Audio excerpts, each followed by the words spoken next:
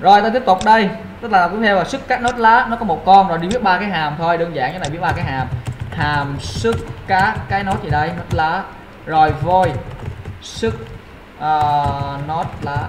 Nốt lá là nốt gì? Nhắc lại coi. Tree t. Chỗ này nếu như mà t khác nuôi t khác nuôi phải làm sao? Đầu tiên tôi cứ để quy sang trái để quy sang phải nghĩa là đi qua từng cái nốt trong cái cây này, trước đi rồi tính sau. Là t chọn b gì đây? B left. Và t chọn b right. Đó, cái cái này là cho đi qua trái, qua phải. Đúng chưa? Còn cái này cái chỗ tôi xử lý. Xử lý cái nốt hiện tại. Tư duy là như vậy. Thì trường hợp này anh đang anh đang dịch theo kiểu nào? Nốt left gì? Nốt left right, đúng không? Thì nốt lá là nốt gì? Nốt lá là cái nốt mà cái con trái và con phải sao? Bằng luôn là t trọn b left sao? Bằng bằng luôn và cái gì? T trọn b right sao? Bằng bằng luôn đúng không? Thì nó là nốt lá là sẽ cái gì? Sao cái t trọn đâu? Data. Xong bài toán. Thấy easy không? Rồi tương tự vậy, copy lại làm cái hàm sao? Xuất ra cái nốt gì? Nó có một con, cũng tương tự vậy thôi. Xuất ra cá nốt có một con. Nó một con có hai trường hợp, con trái hoặc con phải đúng không? Thì đầu tiên là cái con trái, có nghĩa là t trở về left làm sao? Khác null và t trở về ra sao? Bằng null đây là trường hợp con nút có một con là con gì? Con trái.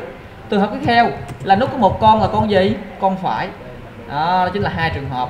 Thì này sau đây, hoặc con phải cái này sao? Cũng là t trở về left bằng gì? Bằng null và t trở về ra sao? Khác null đúng chưa? Thì gọi là con gì? Nó có một con. Đó, con trái hoặc con phải. Xong xúc nốt một. Một gì đây? Một con. Rồi tiếp tục có làm hàm gì? Sức nốt có hai con. Sức nốt hai con. Hai con nghĩa là sao? Nghĩa là một trường hợp duy nhất thôi. B left và b right sao? Đều khác luôn luôn. Bỏ đi, có nghĩa là t trở left khác luôn và t trở về right khác luôn, thì nó là nốt gì? Nó có hai con.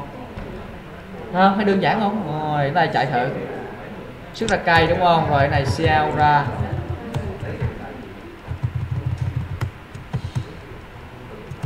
Sẽ tên cái nốt có nốt lá. Nó sẽ n xuống dòng.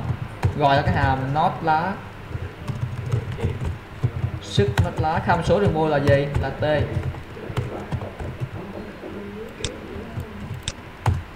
Rồi, nốt gì? Nó có một con. Rồi, sức nốt một con. Rồi, nốt có hai con.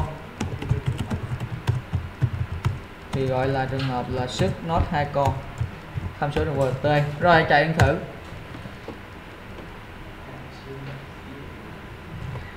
Rồi, chúng ta vẽ ra cái cây.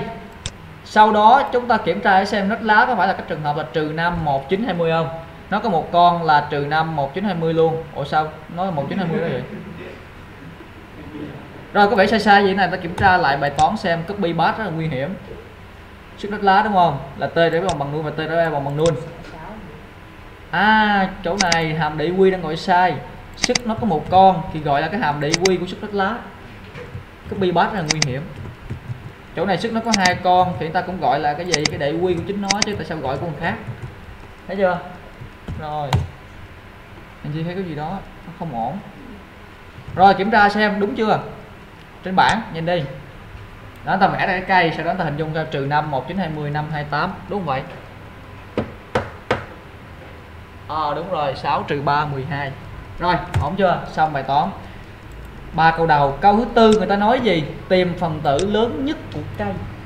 Lúc này tìm sao ở bài mã một chiều danh sách kết đơn có phải đầu tiên ta cho cái max bằng gì? Mã một chiều cho max bằng a không đúng không? Sau đó kiểm tra max với các phần tử còn lại còn chính sách kết đơn đầu tiên cho max là gì? Là thằng bi hit là thằng đầu của danh sách sau đó kiểm tra các phần thằng phía sau lúc này cây phải tìm kiếm làm sao? Đúng rồi. Chúng ta dựa vào bản chất của cây, cái phần tử nào nhỏ khi mà đâu nhánh trái, phần tử lớn khi nhánh gì? Nhánh phải. Thì đơn giản đó là anh cứ để quy sang bên gì? Bên phải cùng hết. Thì cuối cùng thằng đó chính là thằng gì? Thằng lớn nhất. Đúng chưa? Để quy sang bên phải cùng hết. Rồi, anh ví dụ một cây đi, chúng ta dễ hình dung ví dụ một cây đi. Đây có cây như sau ví dụ có cây là ví dụ như là nó số 5 đó nó số uh, ví dụ như nó số số số 4 rồi cái nốt này nốt gì? Nó trừ 3 đó đó rồi tiếp tục nốt gì đây? Nốt này là nốt ví dụ như là nốt số số 2 đúng không? Cái này là nốt số số số số 10 thằng này là nốt ví dụ như rồi. Vậy vậy à. nốt số 8 đúng chưa? Này nốt số 9 thằng này anh cho là nốt ví dụ như là 30 thằng này cho nốt ví dụ như là 25 hợp lý chưa? Thì cái, cái phần tử lớn nhất là phần tử nào? Có phải số 30 không? Các anh sẽ để quy sang bên phải cùng hết phải. Đầu tiên là để quy sang phải. Thằng này có phải không? Có qua phải. Thằng này có phải không? Có qua phải. Thì có phải thằng phải cùng nữa là gì? Thằng này có phải không? Không. Thằng này không có phải thì phải nó là thằng phải cùng không? Thì nó chính là nó gì? Lớn nhất đúng không? Rồi qua đây ta viết sau đây. Rồi, tìm mass nó có rất là nhiều cách, nhưng cách này cách tối ưu nhất. Đúng không? Rồi, tìm phần tử.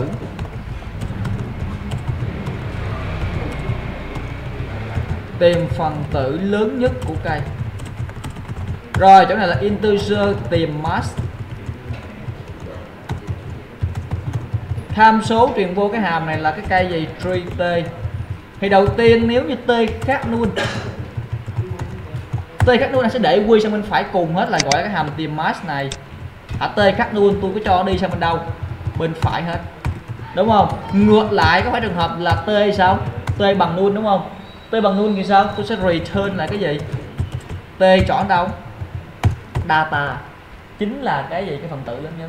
Đó là tôi chạy thử.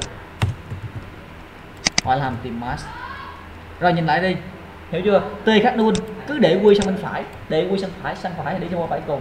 Ngược lại nếu t bằng luôn cái trường hợp này có phải là cái nốt 30 chúng ta là cái t chọn b, b right nó bằng luôn đúng không? Thì nói là gì? Thằng phải cùng. Thì chúng ta chỉ cần làm sao? Return là cái data bên trong nó ra thôi. Rồi tìm mask. Chỗ này là cell. Sẽ nnt mask. Rồi gọi là hàm tìm mask tham số truyền vô là cây t rồi chạy lên phần tử lớn nhất trong bài toán ta đang làm chính là số mấy và số 20 đúng không? Ừ nó không chạy luôn. Nó đứng im luôn luôn, nó chạy hoài luôn, nó đang chạy hoài, đang bị lập vô tặng thì cái ý tưởng là như vậy, nhưng cái cái thực hiện nó có đúng như ý tưởng không? Nhìn lại đi.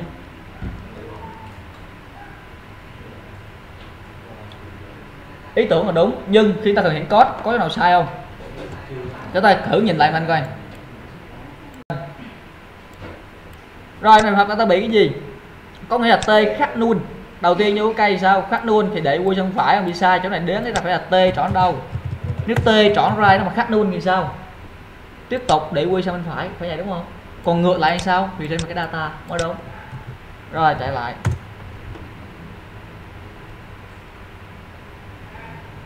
Không có gì hết. À tao quên sao một cái lỗi rất là ngớ ngẩn rồi sao ra bây giờ hành không có chịu trả về. Phải sao ra mới trả về giá trị được chứ. Rồi, phần tử lớn nhất là nhiêu? Là 20 thấy, hay chưa? Easy. Rồi xem còn code nữa. Easy game. Rồi, ổn chưa? Xong, phần đọc wifi thì bởi sao chúng ta sẽ học đến phần đọc wifi trong đâu? Trong trong gì? Trong kiểu struct